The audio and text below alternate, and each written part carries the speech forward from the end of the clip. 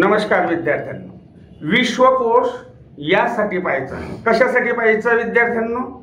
तर यासाठी पाहायचा की आपल्या ज्ञानविषयक गरजा या भागवण्यासाठी तो आपल्याला पाहावयाचा आहे. दुसरी एक गोष्ट जागतिक ज्ञान क्षेत्राची क्षितिज जी आहे तर ते विस्तारताना आपल्या विविध विषयातील कुतूहलास इष्ट वडण जे आहे ते इष्ट वडण आपल्याला देण्यासाठी हा विश्वकोश जो आहे तो पाहायचा आहे.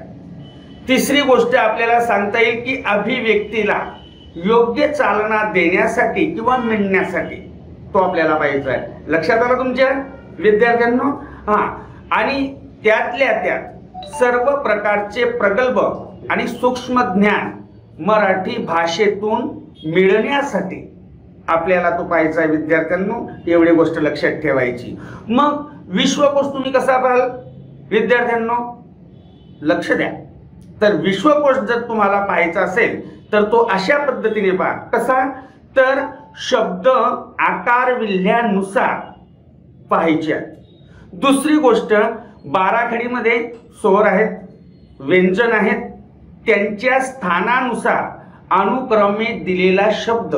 आपल्याला तो पाहायचा आहे. दुसरी गोष्ट तुमच्या माहितीसाठी तुम्हाला आवडणारी शब्दकोडी असतील किंवा फॅशन्सपैकी केशरचना ज्या असतील त्या केशरचना या शब्दांचे संदर्भ या शब्दांचे संदर्भ जे आहेत ते संदर्भ तुम्हाला पाहायचे आहेत. चला तर मग आता आपण 不列手呀。